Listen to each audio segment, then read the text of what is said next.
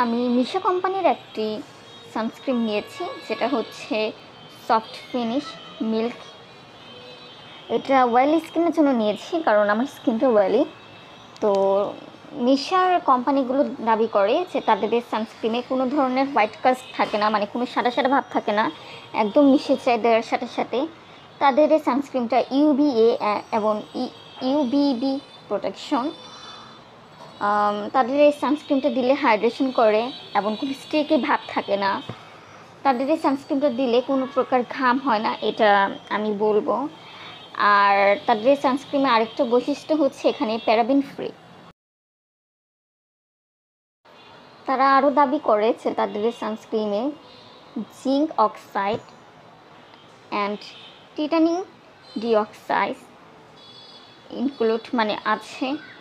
আর UV filter chemical UV filter involve আর এটা সব স্কিনের জন্য পারফেক্ট কিন্তু অয়েলি স্কিনের জন্য বেশি পারফেক্ট আর এটা খুবই স্মুথ তো আমি আমার পার্সোনাল ওপিনিয়ন থেকে বলছি, আমি যখন এটা ইউজ করেছি, তখন দেওয়ার পরে মানে কোনো ঘাম আসেনি, একটু শুষ্ক শুষ্ক লাগছিল, কিছুটা স্নোর মতো।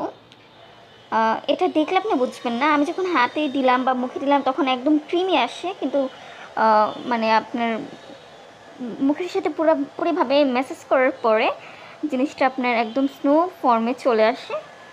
আর দেওয়ার সাথে সাথে ঘাম হয় না, কিন্তু বের হলে অনেক বেশি ঘাম হয়।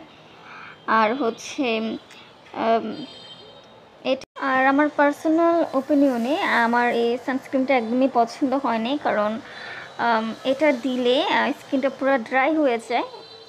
সো আমি এটা লাইক করি নাই।